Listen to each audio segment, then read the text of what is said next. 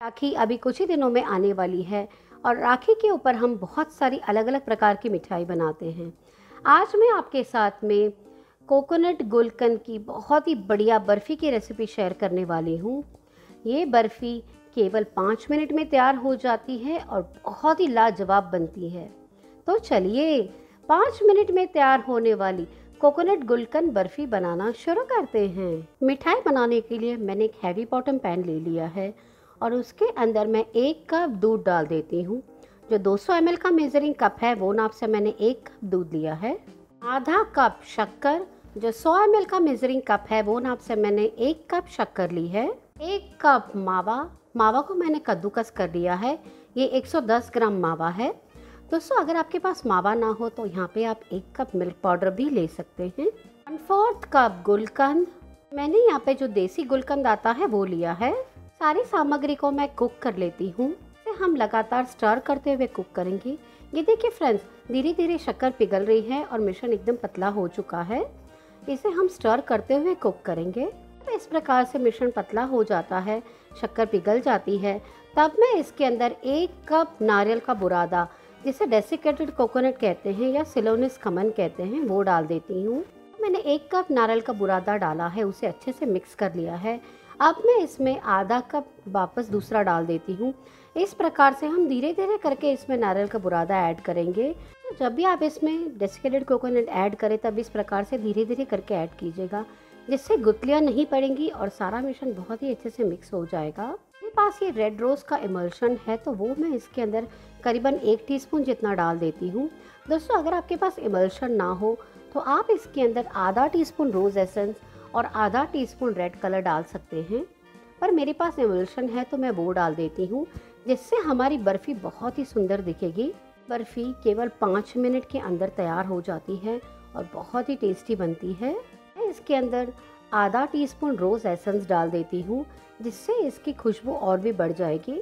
ये ऑप्शनल है, अगर आपको डालना है तो ही आप डालिएगा। सारी सामग्री को कुक कर लेंगे। दोस्तों, सारी सामग्री अच्छे से कुक हो चुकी है और मिश्रण गाढ़ा हो चुका है। मैं इसे ज़्यादा कुक नहीं करूँगी, क्योंकि हमें बर्फ़ी थोड़ी नरम ही अच्छी लगती है।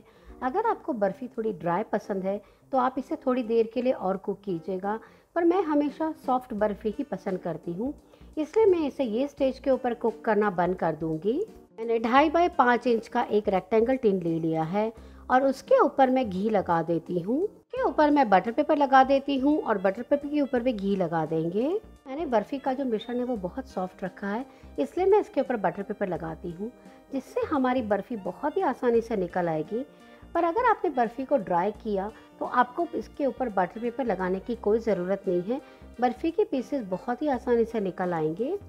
पर मेरे घर में हमेशा सॉफ्ट बर्फ़ी ही पसंद की जाती है।